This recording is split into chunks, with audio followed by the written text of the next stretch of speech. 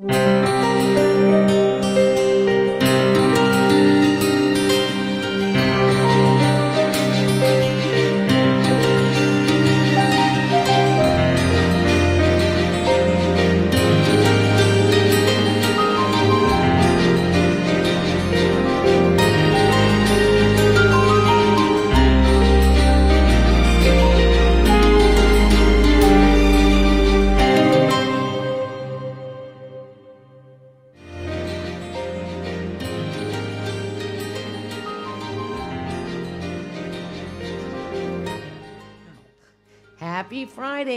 welcome to My Truth, Your Truth, Someone's Truth. I'm Tammy Harlib, aka Reutman, and I am here with my co host Christopher.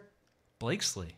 Yeah, thanks for that first part. I would have forgotten. Exactly, Thank you. exactly. How are you today, Christopher? Doing great. It's Good. been a, a long week. Happy it's Friday. Yeah. And happy we have an amazing guest today. We do have an Yeah. amazing guest. We you for have the pleasure of Sam Novak, who is the deputy, Deputy editor. Editor of Vegas Deputy. 411. They give you like a badge, Yes, like a I- star. I, that was a requirement when I accepted the job. I needed a Yeah. badge. No, no holster or anything like that. No, Not yet. holster. So, tell me, welcome first of all. Thank you. I have a little bit of cough and my head's a little in the uh, clouds. Well, it's this only like cough 10 degrees like, outside right now. Thank goodness for a warm coffee. Pe- yeah, People but- don't realize how cold Vegas gets. I know. And that's why we've got Mr. Vegas here. That's Uh, right. like- like, I, there are people way more qualified to carry that title than me. Well, Yeah. but but it is freezing here. It is Yes. freezing. And uh, I woke up to snow yesterday morning at my house. did you really? Oh, that's amazing. I got up at 4 o'clock in the morning thanks to my little kitty Molly who Oh, good. dive bombed onto my face. uh, heard something going on outside my window, looked out, and the snow was coming down. nice. Hey, that- that Did you only make happens- a snowman or get out there and make snow angels? It wasn't heavy enough for that, just enough to Aw. coat some things white, and then the sun popped out and it went away. Aw, But I that's got too it on bad. video, so I Hey, was happy. oh, you did? Yeah. So there's proof of it. There is Yeah. Hey, proof at of least, it. it, listen, it snows so rarely out here. It's so much fun to see it. Uh, my first winter here was uh, 2019, Okay. and that's when we had the three consecutive snowfalls. Yeah. I loved it. Yeah. Oh, because I moved here from Oregon, and I lived. I used to live on a Christmas tree farm. Uh, Oregon Literally? is yes. Um, Oregon is the the biggest producer of Christmas trees for the United States. So in the area that I lived in, there were farms everywhere. no kidding. So this property, it used to be a farm. Uh-huh. Um, somebody bought it and didn't plant in the center of it, but all around the perimeter of the six acres were, were trees that just kept growing and growing and growing. Wow, how beautiful. When it snowed, it was gorgeous. I I, had 10 im- deer living on my property, and I'd go out in every morning and feed them, and the, the little ones would be hopping around my feet. it was kidding. terrific. Yeah. I miss Yeah. it. So, what brought you to Vegas? I mean, that's a big Writing about. Vegas. yeah. Right into that, Mr. Vegas. Yeah, it kind of uh, it was something that just took off, and uh, it was a lot easier to uh, do it here than remotely because I used to come down two or three times a month, fly back and forth, uh, attend as many events or shows that I'd be covering as I could while I was here, go home, write about them, start it all over again. How interesting. So Yeah. you literally were doing a Vegas blog and reporting From out of state. from out of state. Actually began when I was living in Florida. Okay. and then moved to Oregon. So I've been doing this for a while, but it was always from the perspective of a visitor. Oh, that's an interesting perspective because most people that have been, I've been here almost 40 years, and I wouldn't even know what it would be like to come and be like a tourist here. I- I've got the advantage of being able to do both, and, and actually, when I when I relocated here, I wrote a column specifically promising my readers that I would continue to maintain that perspective. So I, I chose to live way outside the city. It takes me about 35, 40 minutes to get to anything here on the strip. And so uh, I will make an evening of it, get a hotel room, eat at the restaurants, do anything that a tourist would do. And, and, and that's my commitment to my readers. What, That- that's yeah. smart. What got you into that in the first place? Um, it was actually kind of offered to me. Okay. I was, Your charming personality.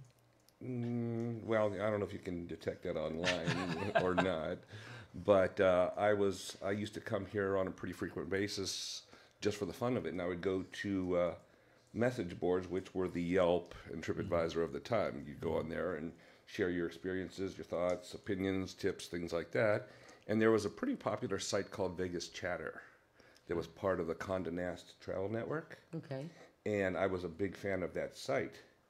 And uh, one of the well, the prime the prime editor, the head editor of that website, uh, appeared uh, that she was looking for people to add on to her writing team, and she was scouring message boards, and she contacted me and said, "I really like the way you tell things truthfully, and you you know you back up your opinions with details, and your style is pretty unique. What would you think about doing it professionally?" That's amazing. I know some people that could actually like use your help to tell the truth. Well, be careful what you wish for because a lot of times it gets you into trouble. Yeah, no question about it. But so it's a really interesting way that you got into it. Super. I mean, it was organic, right? You Mm-hmm. totally. didn't plan on this, Not at all. and people just kind of liked hearing your opinions. You said, "Hey, why why not? Let's get paid for it."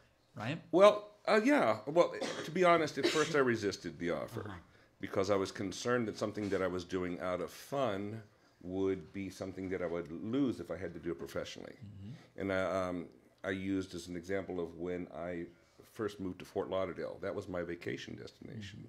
I was living in snowy Cleveland, Ohio area, and all I could think about year round were my two trips to Fort Lauderdale. And the company that I was working for ended up um, buying out um, a company down in that area to uh, integrate it into their own, and they were looking for people to transfer down there. And my thought was, well, why look forward to your vacation when you can live it? And of course, once I got there, working six or sometimes seven days a week, there was no more going to the beach and living it up. in my my vacation became my workplace, and that was a danger. So, for the same reason I resisted at first to take on this as a professional job. Ah, insightful. Very insightful. Have you always been a writer? Um, I've always enjoyed reading more than writing. Um, I was one of those nerds in high school that where everybody else during the summer vacation was out playing uh, baseball or, or what have you. I was on my front porch reading novels, Nice. and um, it was What, mostly what type of reading? Like It- classics? It was classic science fiction wa- Okay. was my go-to. Uh, H.G. Wells, Edgar Rice Burroughs, Oh, um, yeah. things like that. Um, they, they were they were fantasy stories told in a very elegant style. Mm-hmm. Jules Verne would be a, another example for people who aren't familiar with those two writers. right. And I just really absorbed the way that the stories were told, the uh, the the the usage of words and painting pictures in your mind. And I always got very vivid visual images from the things that I was reading. And then when I was uh, in college, I took a couple of creative writing classes. And prior to that, my one of my high school English teachers, she had told me that she thought I had a knack for writing. In fact, uh, the summer between going to college for after graduation, I was on my front porch reading one of my books, and this car pulled up, and this gentleman got out, and he asked if I was by name, and I said yes. And he said, "I have a gift to you from um, your your teacher," and he named her. And there was a box, and it was a writing pen, a cross writing pen, and with a note inside saying, "You're going to be a writer someday. Let this be your start." Wow. And, Good for good. and you were. And, uh, yeah, And and it, many decades later, but it did happen. So I'm hoping that I uh, please her and That's and do cool right story. by what she wanted for me. That's yeah. a cool story. Coming from a family of, of teachers, uh, uh, both my parents were teachers. My my father retired as one. I love hearing stories like that because teachers can kind of give you one or two ways, right? They can either inspire you or discourage Redirect you. Yeah, redirect you. exactly. So I, I love hearing that story. That's really cool. So uh, we've got a lot of dots on the map. I've heard Ohio, Florida, Oregon, now Nevada. Prior to that, I actually grew up in western Pennsylvania, Okay, that's what I was going to ask. Where'd you grow up? uh, north of Pittsburgh, in a little tiny town called Aliquippa.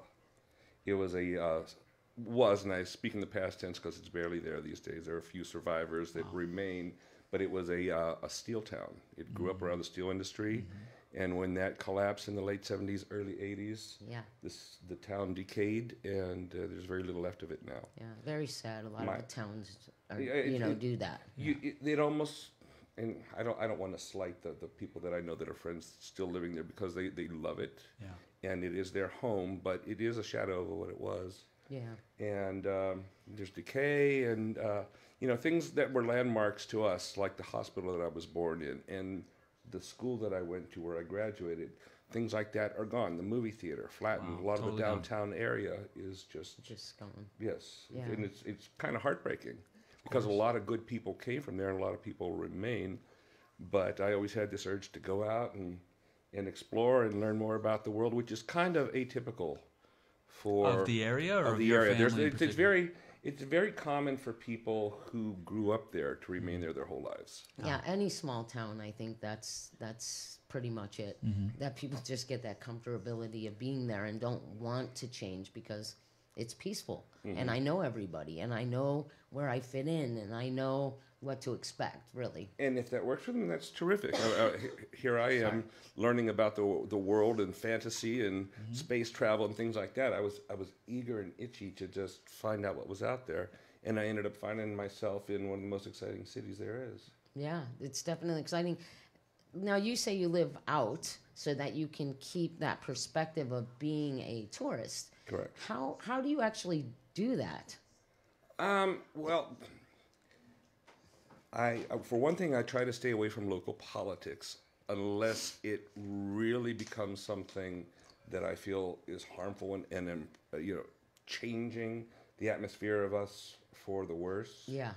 Uh, and I'll and I'll use the uh, Formula One uh, situation as an example of the Clark County Commissioners voting on it, bringing it in, and it had a really catastrophic effect on so many of our lo- residents here. businesses. and continues to, from what I've been reading. Yes, yes, there are Right, businesses that are still suffering for, for various reasons. Yeah, just by pure access. I mean, road closures, barricades, all those things. I've heard of uh, prominent souvenir stores and and Right, and- otherwise. then you've got Restaurants that, that- have been yeah. around for a long time. And you've got that new ordinance prohibiting people from stopping and uh, Yeah. on the pedestrian bridges, which sounds almost communist to me. I, I'm going to agree with you there. And I But get really riled up about that, and that's where I uh. have to step in, or not have to. I choose to step in and you know call out the Clark County Commissioner, saying you're you know you're making choices that are poor for us. What's in it for you? You know, and and I've I've publicly stated on social media and on their own pages. I think that they should all be audited down to the penny because why else would you make such a Yeah. negative decision unless there's something sway you? Follow the money. It's interesting. Like we're Las Vegas. It's kind of like the home of dysfunctional dysfunction. Uh, it has a, an interesting energy about it, but it's almost like I feel like we're starting to be micromanaged. Like this freedom that we have as a like a human being is kind of dwindling and dwindling and dwindling. I That- mean, when you have a now, I think there's another ordinance downtown. If you have a misdemeanor, you can't be down there. Uh, are we talking like Or is it a uh, on felony? Fremont Street, Yeah. perhaps? I, I so I, I don't want to speak out of turn. Please do. Be- I usually do. I but know. but in terms of the within that corridor, I think it may have been a trespassing conviction from that area that keeps you out of that corridor. So I'm not sure if it's any misdemeanor. I think almost all of us would be kept out. But I, I understand what you're saying. I've not had a misdemeanor, but now we know your history. I, I, when I read about it, it didn't quantify. It just said a misdemeanor. Yeah, and, and it could be, but but the point is, yeah, they're making a lot of interesting decisions that are affecting not only uh, locals in general, but there's a there's a lot of buskers and, and performers and musicians and artists that are kept out of this corridor now. Yeah. which I found charming as long as it was done, you know, in a tasteful way, which I think a lot of them did, and a lot of talent was out there.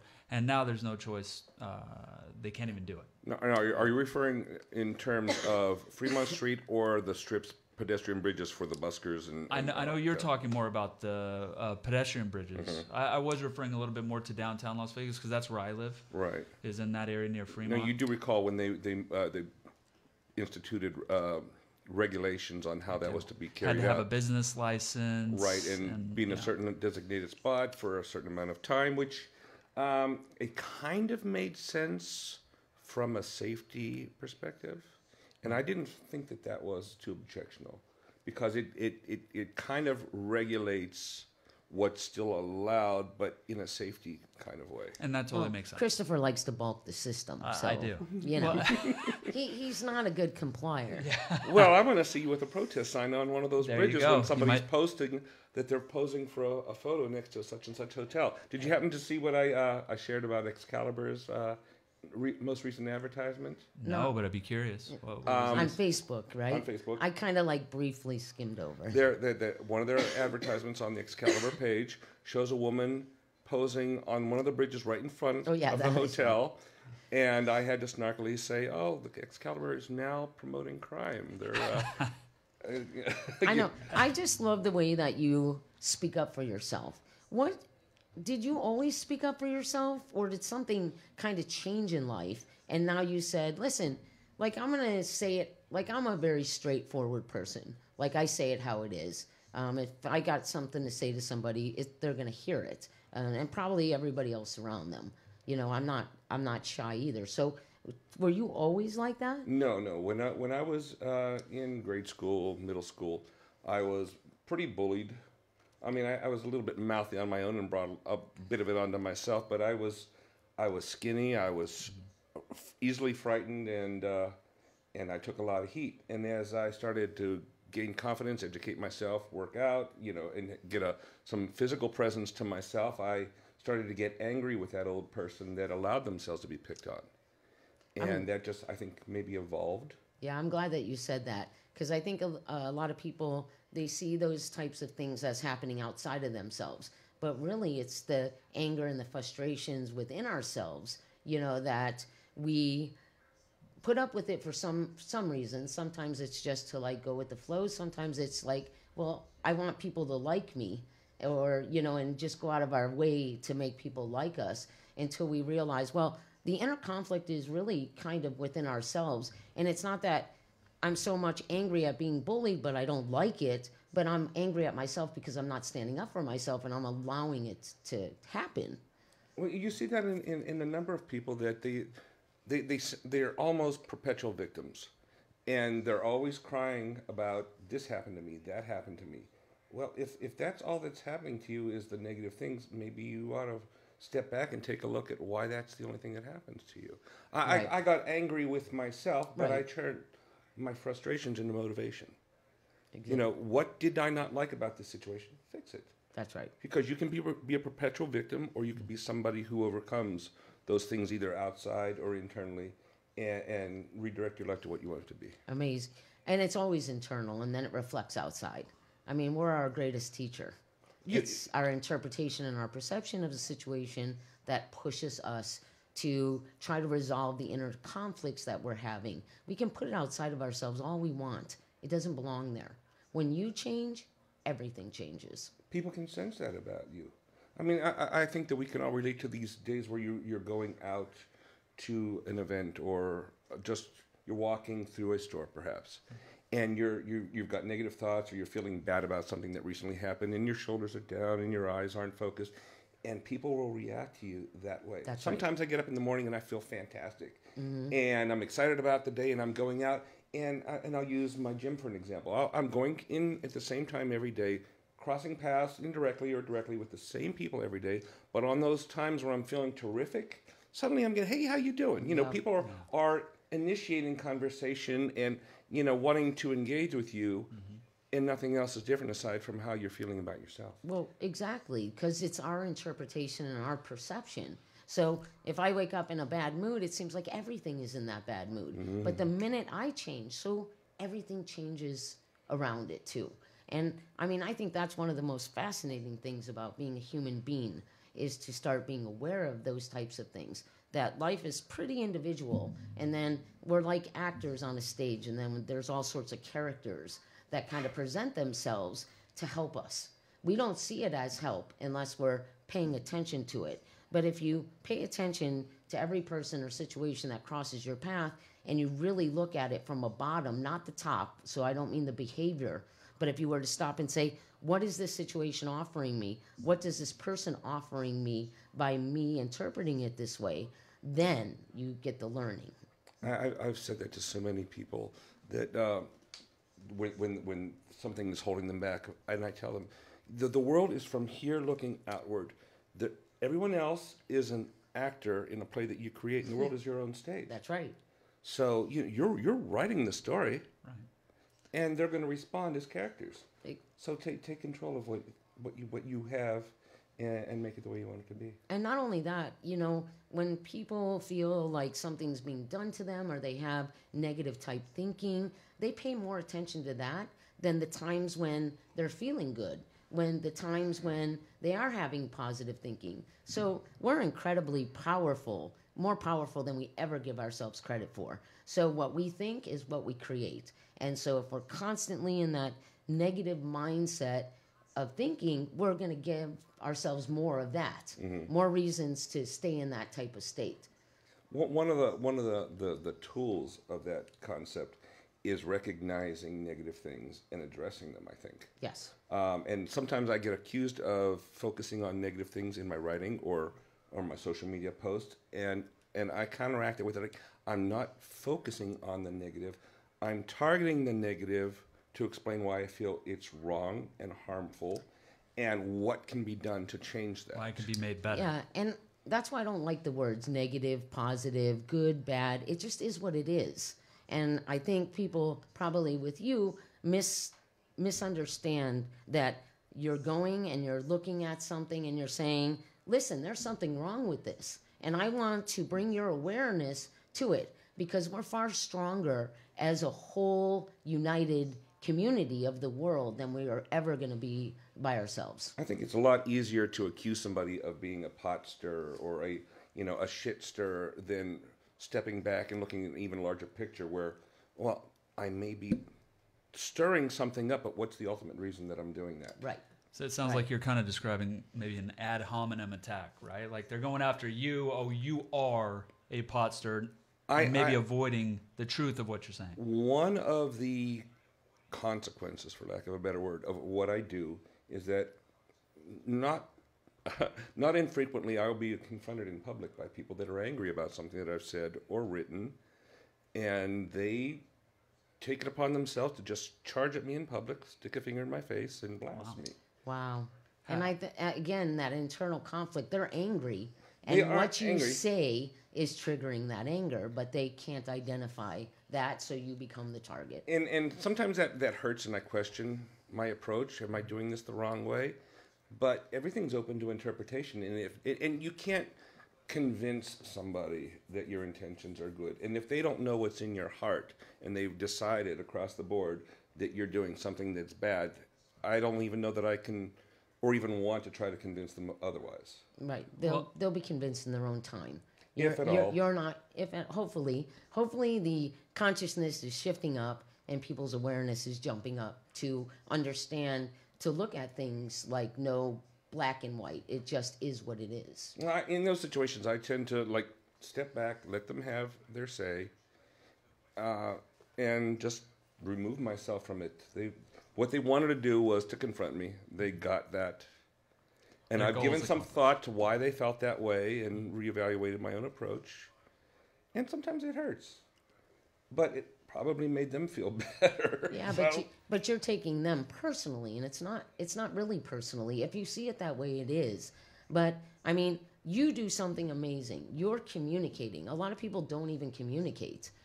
Um, that's why they find themselves in situations where there's a problem and it's not getting resolved because they're not speaking up. Our biggest freedom in life is to learn how to communicate and speak up for ourselves. Well, and I, I want to back up just real quickly to, to being confronted in public. Mm-hmm. Right. One of the reasons we wanted to even have you on the show is We want to confront you. We well, I wanted to think confront- yeah. Christopher said he did. Hang- hang on just a second. That- Let me brace myself. no, no, no confrontation from me. But I am curious because that confrontation can obviously be unnerving, right? Especially when it's face to face. Especially for somebody that does a lot of their writing online, mm-hmm. and then it's brought from behind the screen to in person. And I'm guessing that sometimes there's some anger and frustration, as you express. On a micro and macro level, how, how do you deal with that individual uh, situation where somebody's upset, and then also how does that how does that affect your ability to do your job, right, on a, on a macro level? Well, as you as you noted, every situation is going to be unique, um, and as they become almost part of my routine, I've gotten a little bit more prepared to get through what was once a, a big shock. Yeah, because you you rarely expect to go out in public, and I don't. Aside from the fact that this is a pretty memorable face, you don't expect to be recognized in public from sitting on your laptop Of course. doing what you do, but it happens quite often. And along with that has become uh, uh, more frequent of these encounters. And at first, it was very jarring. I, you know, I was Mm-hmm. I'm sure concerned your about fight or my flight, Uh, you know, well, it- kicks in.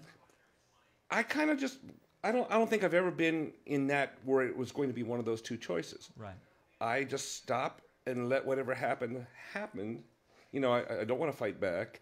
I don't want to get out of the situation either because it's just going to follow you down the road somewhere and happen Right. again. But so I listened and thought about it. If I felt the need to explain a specific opinion that I had, I can. But these days, I'll be at a certain place, say I'm by myself, stopping for something to eat, and somebody will come up, Hey, are you that writer guy? and I almost want to turn around and say, Okay, what did I do to piss you off? Because it's very rarely, Hey, I like what you write, you know. Yeah. It's, it's, you don't get those, those acknowledgments of compliment or um, satisfaction as much as you do the, the, the angering one. which is inter- interesting in and of itself, right? The human nature to to seek out and comment on something they hate rather than something they really enjoy, which I think is kind of a Bo- microcosm. both have Yeah. their own gratification because you know at least that your voice is being heard. Right. of course. And if somebody cares enough to approach you in that fashion, they feel very strongly about what you've said or how you've affected them. And I, I can't think of one circumstance where I've said, I don't want to talk about this, leave me alone. so you welcome it. You listen to them, you hear them out, which is often Welcome is a little bit more broad than I would That's want fair. to. That's I, fair. I accept Mm-hmm. th- when these things happen. But that's how And- they feel. And then and there have been times where I've walked away thinking, you know, maybe I should change my approach. Maybe I'm hurting somebody, or, but when when I circle back to saying that everything comes for for uh, the intent of changing what I feel is harmful, then why would I want to pull away from that? Exactly. Maybe you should start another page on web on Facebook that opens up the dialogue to some of the things that you write, where people can. My my paws are already in the the, the sandbox. I have Yeah, plenty yeah, to do as it is. Yeah. But maybe it, it would help people facilitate conversation, and maybe you wouldn't necessarily have to, you know, be involved. It would be a page where people could go and, and say, "Well, this is what he wrote. What do you what do you think about it?" There's always the opportunity for people to do that um, because I, I share all of my articles not only on my own personal page, but also on our Vegas 411 Facebook page. And I maintain my previous page, which was Vegas Unfiltered, which is now part of Vegas 411. So Okay. I share my, my articles on all three of those locations as well as on Twitter. And quite often I'll put at the bottom of the article, you know, what are your thoughts on this? Do you have a counterpoint? You know, email me here, comment on our Facebook page. Open up the dialogue. Yeah, And I mean, it's, I, I'm not writing in a vacuum. I'm writing about things, and I want to know things, Mm-hmm. and I'm always willing to learn what I'm not aware of. And, and we can kind of see up on our screen right now some of the stuff that you have written for I think it's Vegas 411 Mm-hmm. here. And and I do want to get into that a little bit. I do too, because people might think, oh, he's writing about city ordinances or things that are happening in Vegas, Right. and that's just a small part. Right, I- Mostly you're doing entertainment. Entertainment right? is, is my forte. Entertainment and i've even seen some food reviews restaurant Mm-hmm. reviews as you mentioned try not to get too political but when there's a something that needs to be said you'll you'll do that but what it, you said is mostly entertainment oriented I'm a big fan of entertainment. Um, which forms live entertainment of uh, production shows, concerts, um, comedy, magic, everything that a Vegas has to offer. I, I, I attend all different kinds of shows. Music. Mu- Don't forget music. oh, absolutely. Well, that, that's concerts, Oh yeah. but, But I um, think a lot of people think concerts, big concerts. I love the you- intimate venues, and there's so many local performers here that are amazing. that the visitors don't know about, and I've I've tried to draw attention to those things, especially with headliner tickets going the astronomical prices. That you can come here and see a terrific, terrific show that you're going to remember Right. at one fraction of the cost of what you would pay for seeing one of the biggies. Yeah. Christopher has a law partner that's in a band. What's it I, called? I wasn't gonna shout him out, guys. The ego's already big enough. I know, I know. No, uh, so my law partner John Courtney, uh, we've been law partners since 2015. We went to law school together back in 05. Doesn't make John a bad guy. D- yeah, don't don't hold it against him, but but he's in a local band with a few other attorneys uh, called the Lost Vagrants, and uh, and he, he'll appreciate this. I think he has a show coming up at Soul Belly on January 20th. Um, but they do a lot of covers of you know 90s and 2000 rock, and they just have a lot of fun with it. And and it is one of those you don't have to usually go drive and park on the strip, right? It's at a local venue, so I feel like I'm supporting a small business. I'm supporting a local band, and so I get what you're saying that it's kind of you don't have to go see U2 at the Sphere for thousands of dollars Right. to have a good time in Las Vegas, and those are the kind of shows you're trying to highlight. Absolutely. In fact, um, we started a uh, an events calendar at the the third quarter of last year, where all of those types of shows they can send information to us, and we'll post it for free. Um, just email the details, the dates, a link to ticket sales if there are any, and a photo to uh, events at vegas411.com, and we'll put it up there. That's that's truly amazing. And when you're writing, you're writing straight up. So I, I know that uh, even some entertainers have had a problem uh, with some of the things you've said about them in the past. Mhm. How does that different from when someone comes up to you in public and addresses you? Um, how is what different? When an entertainer, a bigger entertainer in Las Vegas, Gets has a problem, yeah, has a problem with what you wrote. Okay, let, let me let me step back from that as well, and and paint a picture of the type of entertainer that they may be, and put them in a line with all comparable entertainers that would charge a similar price for that type of show. So you can pay X amount of dollars and see this entertainer, this entertainer, this entertainer, or that one. This is where my perhaps my moral compass kicks in, and I know that there are some people in this line of performers who are what I consider to be not good people. And they've got a history of doing bad things, mistreating people behind the scenes, mistreating their cast, their um, their managers, people that work at the venues. People that make their venues actually happen. Hmm. So you're, you're offering the counterpoint already.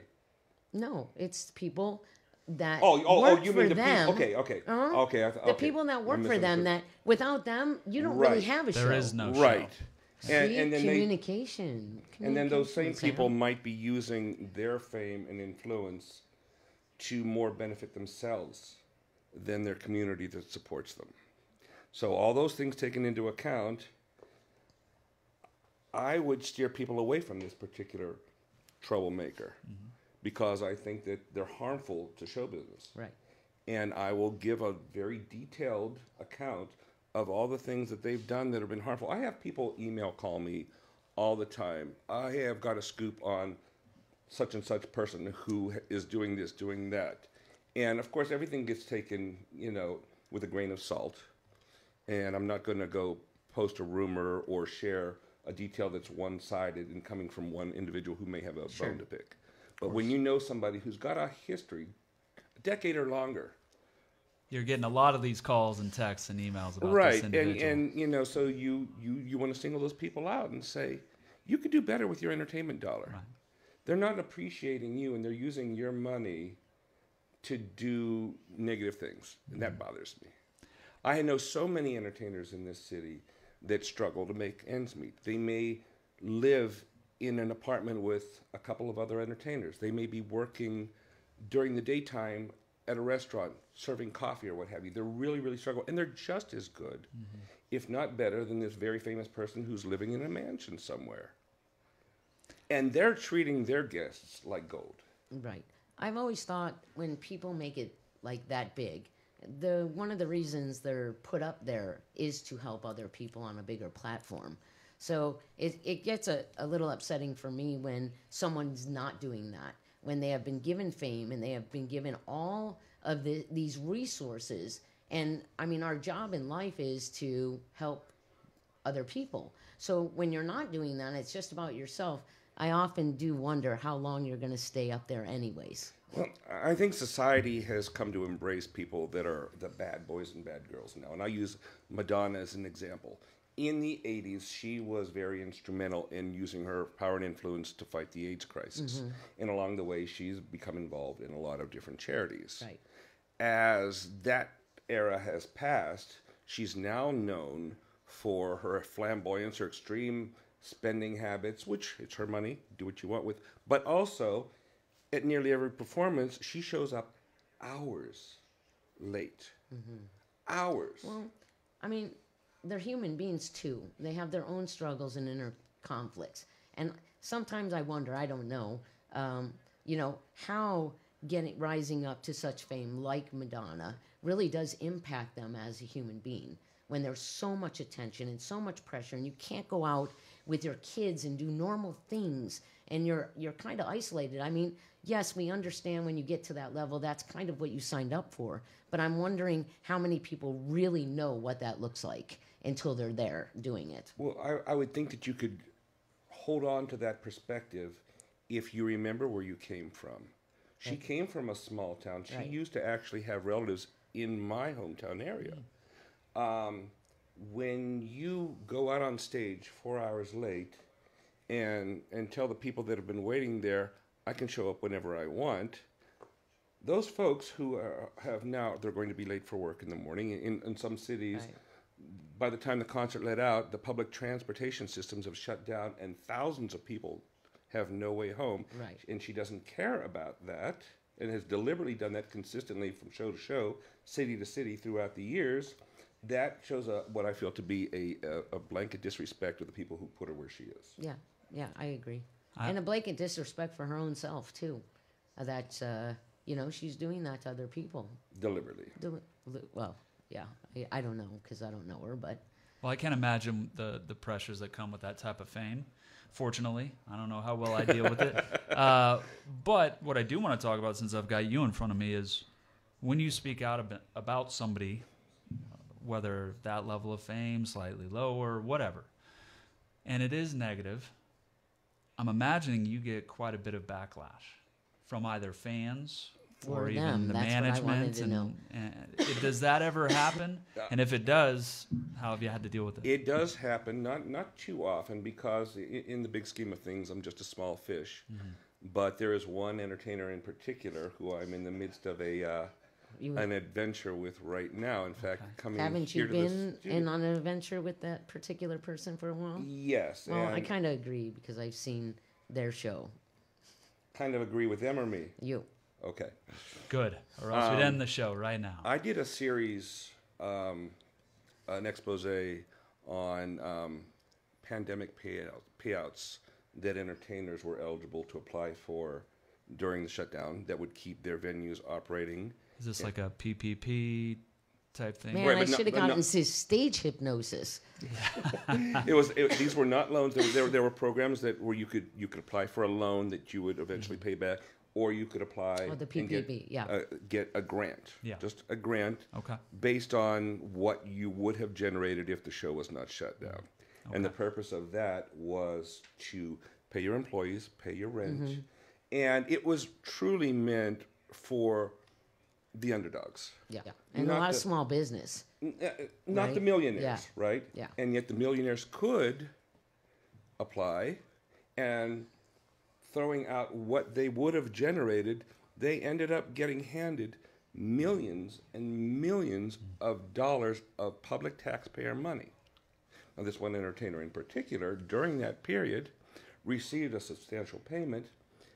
And while we were all struggling to get paper towels and canned soup, this person was posting on their social media about renting a private jet, flying to Cabo San Lucas, partying with the Kardashians, and and boasting about it A little tone deaf. While there's fa- their fans struggle.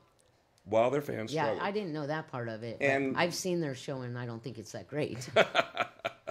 So, um, yeah, um, that person and I have been going back and forth And so for you quite spoke a while. out on something that you felt was unjust. Did you lay it out like that? Oh, I, I, I absolutely spelled out all the details. Um, I had the the because it was all public, I was going to say it's public information. right? Right. So This I is- and I had dollar amounts of exactly what these being small large entities received, and um, then when I went to this person's new show, before it even began, I was escorted out by two armed guards. They they threw me out of the theater just because of who I was. That's one place you hope you are not recognized. Well, When that kind of I kind of anticipated this. Normally, when I go to uh, something that I'll be covering for work, I'll be wearing a tie, dress shirt, uh, vest, jacket, what have you. And this night, I came with a baseball cap, glasses that I don't wear, an old T-shirt, Incognito. incognito, which I'd never done before. But I mean, I really wanted to see this show and form a valid opinion on it. Um, when when I write reviews of shows, I I don't necessarily write in a vacuum. I'll give my own opinions, but I also talk to other people that have, might have attended with me or that have already seen it, and we share a conversation so that I can see, you know, was I having a bad day? Was I not wanting to see the show that night? Right. Did the, the material that's presented just not grab me, but I'm missing a point? So I try to, you know, Should I go back and see it again? and I've done see- that. Yeah. I've done that too. There have been times when a, a, a new show opens up, and if I felt it wasn't quite what the the vision of it would be, I would contact the people and say, "Hey, you know, I attended, and do you feel it's ready for a review? Should I come back in a little while? When? How about you contact me when you feel it's ready for a review? It's the way that you want it to be." I think that's really respectful. Well, that was my intention was to go see the show, you know, without any bells and whistles, not to be, you know, I didn't show up in an official capacity. I did not request to to be there. Right. tickets or you- um, right. You, do that on your own. Yeah. Yeah. And uh, so I I ended up writing a review uh, uh, or an article saying I was thrown out of blah blah blah show, detailed the whole thing, my my back history with the individual, um, the incident that took place, and pretty much closed it out with saying now. I've been banned from the theater. I will never ever get the opportunity to present a review of the show. It might have been great. I might have thoroughly enjoyed it. I might have brought perhaps hundreds of people in to see it that otherwise might not have. Now we'll never know because you threw me out. and that's it's got to be frustrating on many different levels. Number one, this is what you do for a living. That response from them uh, kind of indicates that they don't trust you to do a professional job with any kind of review, right? So it calls into question you, and i i- it's also a certain level of disrespect that they can't even allow you into the show. More so than those elements, I think it displays a lack of confidence in what they were putting on the stage. If, if, Exactly. if you believe in what you do, It shouldn't matter. It Nothing. shouldn't matter. Right. I mean, imagine imagine a, w- a, a, a shining review from one of your what they viewed as a prior critic, right? Wouldn't And that go a heck of a long way? Absolutely. And that's not the first time that that's happened. I, I've been told specifically by PR people, you are not welcome at this show. Hmm. And, and, and it, it's, it would have been like a special version of an existing show that I gave a negative review on. And, the- and it's the same. It's the same response. I was planning to go in with an open mind and hoping that I would be able to say, "Hey, this is something we're seeing, and I'm surprised. I want to share that surprise." And I and I wrote back to the PR person and says, "None none of us will ever know now because I'm not welcome." Right. And sometimes you do bring your own friends with you. Do you get their perspective on what they thought, and is it a back and forth dialogue Absolutely, before you and I, and I could use um, the the show Awakening at Wynn as a prime example of that. Um, I did not like it when it first opened up. I thought it was absolutely terrible.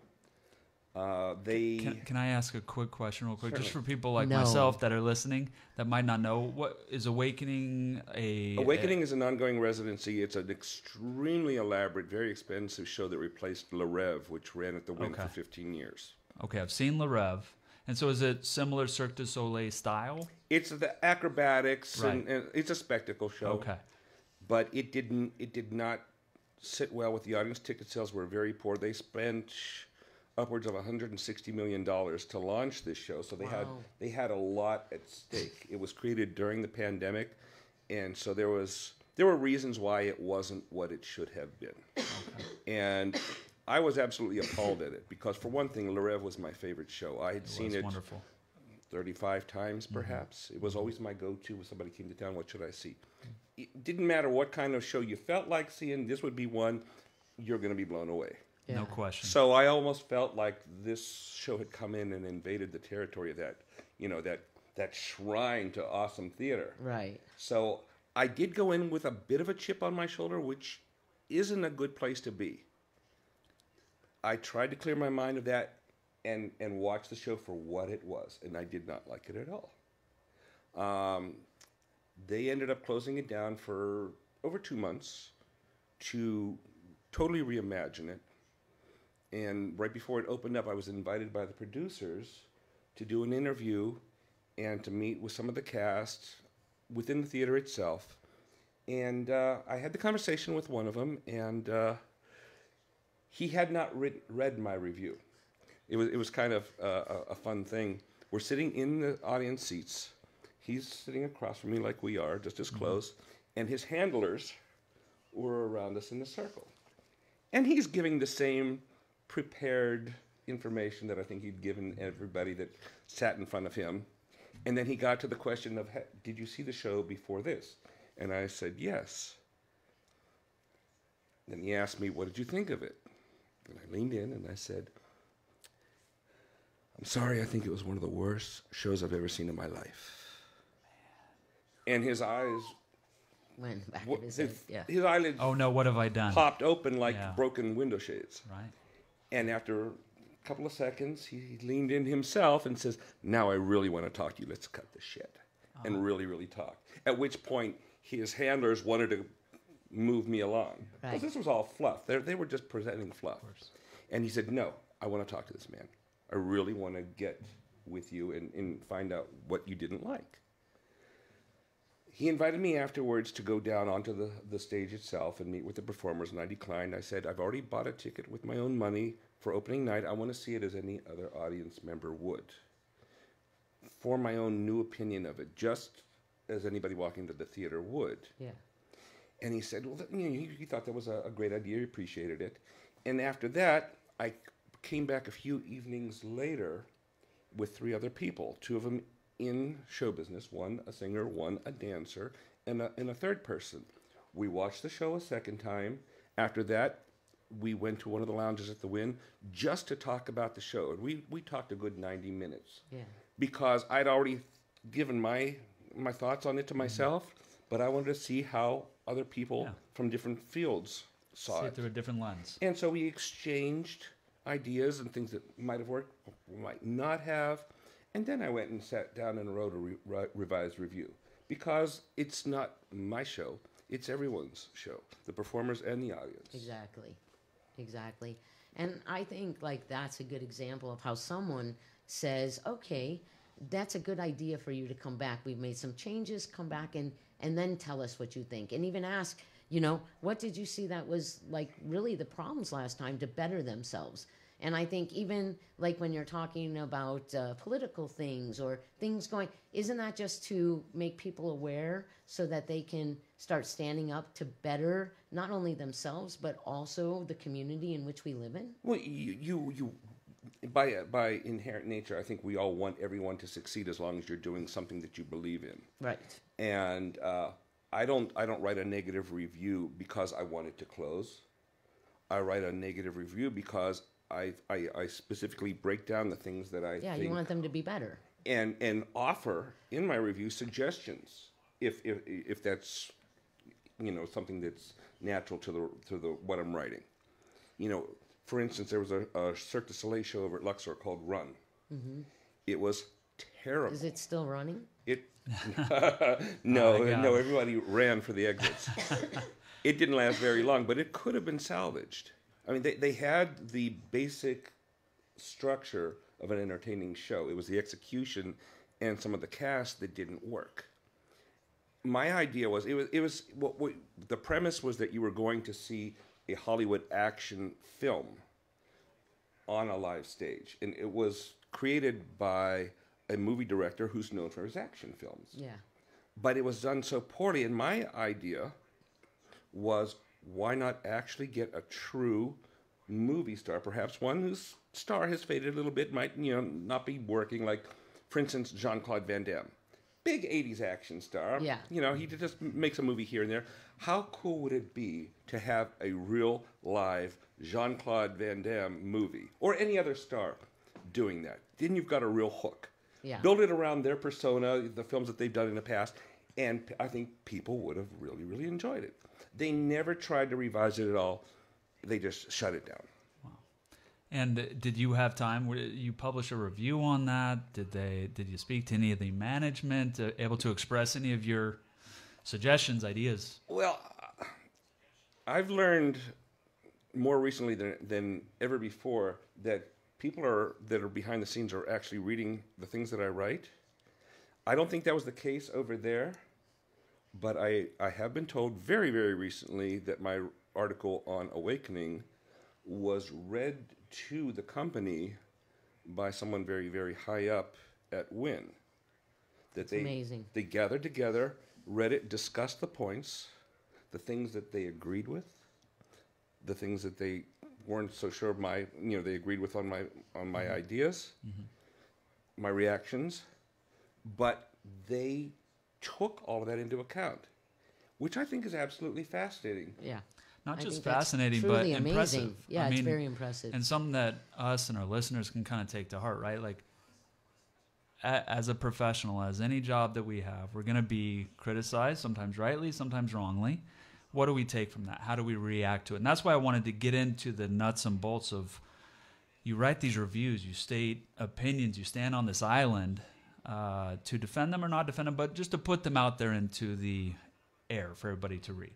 It takes a lot of bravery and it takes a lot of, you expose yourself also to some criticism, right? When you're making these strong opinions. Sure. yeah. And I think it's really important for us as individuals, as Tammy mentioned earlier, to not take things personally.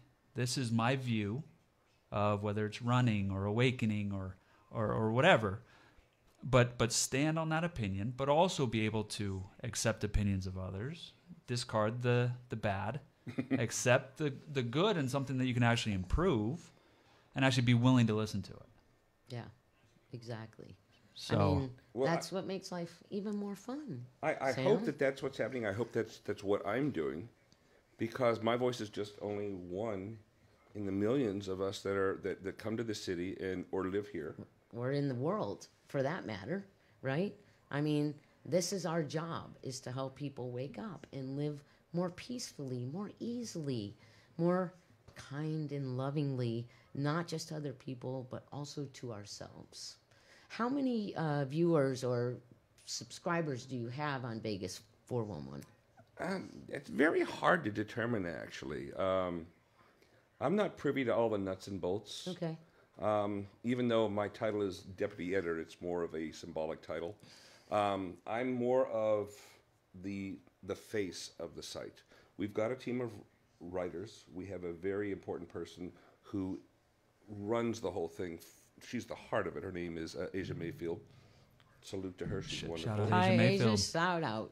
great work. And but I, I'm the one that, aside from writing my own little sidebar column, because Vegas Unfiltered is how I began, and it's been integrated into Vegas 411. So I have my own little drop down list. I got so I'm just one cog in the wheel, but they also want me to be sort of an emissary and ambassador to the entertainers, to the visitors, to our locals. And uh, how does someone reach out to you on uh, either social media or on a website? Um, well, you can always email me, uh, Sam Novak at Vegas411.com. Um, the site itself is Vegas411.com, and we have a Facebook page where Okay. anybody can send a message or comment on articles that are there. Um, I've been starting off the new year with a few new reviews of things that are going on. Closed it out with a three part of the best, worst, and WTF, which I always enjoy those those year end uh, wrap ups because there's so much has gone on in any one particular year. By the time you get there and start looking back, you start to absorb how much has changed around us in just the past 12 months. Some of it's really wild, some of it is routine. I just love those year-end wrap-ups, and I'm have I have a great time with them. I could I could do them for two or three months into the new year and, Yeah. and not get tired of it. Yeah. But it, it's really nice when you saw, when you encounter, say, a brand new show or a new performer that's really blown your socks off, and you mention about it, and they send you a note of appreciation. Yeah, that's Well, well, let's let's We while got- we're on it, if if you can, name some shows that some of our some of our listeners should come in and check out. That might be off the beaten path, unless there's some kind of promotional, you know, prohibition or anything. No, no, but no, no, no, no. It's I I've been giving been given the license to to talk about whatever I want to. On, on it's my column. It just happens to be under somebody's banner. So my opinions are always out there. I can talk about my personal favorites. Um, the best new tribute show of the year was the Docksiders down at Notoriety. I saw that it's a Love them. tribute to an era of Tribute music to an era, than right? an individual it's band. called Yacht Rock. Um, Yacht Rock is kind of those easy breezy songs that everybody knows. They're kind of AM radio these Mm-hmm. days, but they make you Ah, feel good. I have satellite. I listen to yacht rock radio all the time. It's great. And they they it's all live. All the instruments and the singers are all live. They, they came from Wisconsin, so they transplanted here, and they do have one of our local singers that they integrated into the band. Somebody they had a space for when one person couldn't relocate, but outstanding. Every song is performed to perfection. The the, the energy, the the the talent. It- you, you you walk in, sit down, and from the opening notes, you're grinning to the very very end. That's fantastic. Yeah, that is. That There's is- a there's a relatively new tribute show that were opened up over Excalibur called Spice Wannabe, which is a The uh, Spice Girls? The, Spice- the Spice Girls. They're Uh-huh. in character through the whole show.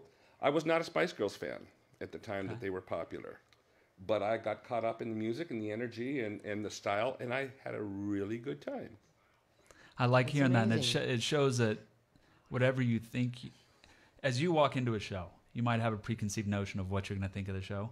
But I like it that you're able to let the show influence you, right? To decide, oh, okay, wait, I, I'm surprised, but I actually liked that. Mm-hmm. I didn't expect to like the Spice Girl show. Right. So it shows that you have the ability To to, make your own opinion, yeah. diversify all that stuff. So Um, kudos to you. Another category of entertainment that I kind of uh, got into this year was the female revues, which my friends, friends and some readers thought was kind of funny because I'm an openly gay man. So I'm You more are. inclined, yes. So I'm more inclined to go to Chippendales or Thunder from Down Under, Right. but I found myself going to these topless revues and uh, enjoying Enjoying it or having a blast Yeah. and going back multiple times. Yeah, yeah. And two of my uh, top two, my, my top two uh, new adult shows were both from a, a, a producer, director, choreographer, performer by the name of Jennifer Romas. okay. Um, she had a long running show over at Westgate called Sexy. And then she launched one over at the Rio called Excite Okay. and that that's best new adult show. She and the second uh, second place went to a, another show called Red Velvet Burlesque, which is also at Notoriety, and she was brought in to give it a Vegas edge. It, it was a it's a show that takes that runs in a number of different cities. Yeah. But they wanted to give a more Vegas feel to it, so they brought her in to do that. Both really fun shows. That's amazing. That's amazing. But no, I'm not going straight. I just no one You can wants still you. happen to hey, enjoy the I don't think though. anybody wants you to do anything that you are not. you should definitely just be who you are. If it's good enough for you, it's going to have to be good enough for everybody else. I, I question. I know we have to wrap up, uh, but I just want to pull out one more thing before we say goodbye, and that is Sam also has a different kind of passion, and so just real briefly. Why don't you uh, talk about what you do for a lot of uh, stray cats Oh, in the I- city? I used to work at an animal hospital in, in Central Florida, and um, my heart would be broken by the time I'd go home seeing the things that were happening to animals. And uh, I ended up adopting a lot of animals that people would bring into the hospital that could be cured, but they just didn't feel like paying the bills and would have them euthanized. I would step in, and I ended up taking a lot of them home. And then I got into feeding uh, feral cat colonies around my area. I would always have sacks of food in my in my car, jugs of water, and take care of them. And I moved here to town, and I discovered that we have a few colonies along my beaten path. And uh, I was feeding them one day, and some gentleman pulled up to me, and I thought I was going to get scolded because security sometimes does that. But turns out he was part of a group that does an organized effort Wow. in those very spots. So he drew me in. We exchanged information. We orchestrated it so that one person would go every specific day, would all Mm. check in with one another to make sure that the cats never went a day hungry. That's amazing. And luckily, I've been able to uh, add some people as we've lost some. Yeah, he drew Tammy me is in. one There of we them. and go. She's been a wonderful godsend. That's great. We uh, had a really I was going to talk about when I went Please, first to go please. see, um, you know, where it is and, and kind of how they do it. Uh, Sam and I, I think, got an amazing uh, opportunity. Um, some people may not see it this way, but this is exactly the way that I see it. Is right before we had gotten there, someone had hit a cat, and it was definitely struggling. And Sam and I were able to just kind of put our feelings to the side and really kind of bond with this cat and help it let go. And I, it was just an incredible experience to be able to help this cat who let go pretty quickly and pretty peacefully um, because there was it wasn't going to survive and just being there at that time i think i want to believe that that cat had a lot of comfort in what we did i mean we sat there we petted it we talked to it and then sam took it and buried it at his uh, house Man, it's uh, those opportunities that you don't expect, but you're given to show compassion and love. That really, I hope, is what this life is all about. And I to know, all beings yeah, right to everything. it's That's not just exactly what I mean. human beings it's Of all course. beings we're all beings Of course. I've, I've given a commitment to these animals that as long as I'm alive, each one of them would be remembered. And even in the circumstance of that cat, I had to give her a name, so I called her Dusty. Um, I buried her in my yard along with a couple of other animals that I've that I've had these situations with. She has a stocking that, and I have a, a very very long string of stockings that go across my living room every year at Christmas, and every one of the cats that I've saved in some way or helped in some way, um, they get remembered throughout the year, but especially Christmas. That's beautiful. that is That's that is beautiful. and so is there is there a way that our listeners can support this organization? Do you Um, need that support? It's not a formal organization. It's just- it's just, a bunch of friends that uh, that do that. I would That's- I would think that if somebody wants to help, please uh, contact your local shelters or sanctuaries and offer financial support. Take some food or litter, towels, cleaning supplies, all the things that these these shelters rely on just to get through their day to day. We're in a good spot, but there are a lot of places. There's still a lot of help. Yes. That that's beautiful. Kudos to both of y'all for doing that. I mean, that's that's a beautiful thing. I'm an animal lover as well, and uh, we have to give back to our good. community and that means everything in our community no question. you know no question. Sam, it has been truly uh, an amazing pleasure to have you on our show, and I hope that we can have you actually come back at some time. I would enjoy Um, that. Thank you. Maybe a different type of conversation, but um, it I'm a was little nervous just- about the review he's going to give us. Yeah, yeah, yeah. But Well, even though I'm here in a work capacity, this is not for a review. It's uh, it's to, to, to share our messages outward, and I think we've all had an opportunity to do that. yeah, feel free to review us, though. I mean, we uh, we can all always impu- improve things. So you know, be honest. You know, say that Christopher doesn't have a personality. like, it's the truth. Organic conversation is review proof. Yeah, there we go. Exactly. And and it was a pleasure. I've really enjoyed it. Really nice Thank meeting you. Likewise. Um, and we really really appreciate you. Last time vegas411.com Right. and your own personal Is Vegas unfiltered? I know it's that part time. of that, Right. but just want to make sure we get all your plugs. We really appreciate you. Yep. Thank you. Christopher, where can people go and follow us? Well, on TikTok, you can follow us at Our Truth Media. Um, on Facebook, it's going to be My Truth, Your Truth, Someone's Truth. And uh, you can also email us at ourtruthmedia at gmail.com. And today, as always, brought to you by LBC Law Group. We're lawyers but different, as well as Danius Dynamics, where we help you create the life that you want from the inside out. Also, Christopher, can't we be seen on X and Instagram? Yes, at Our Truth Media. So find us throughout the social See? social networks. That's what I'm saying. That's what I'm saying. I give a he gets one small job and I don't know. Fire me.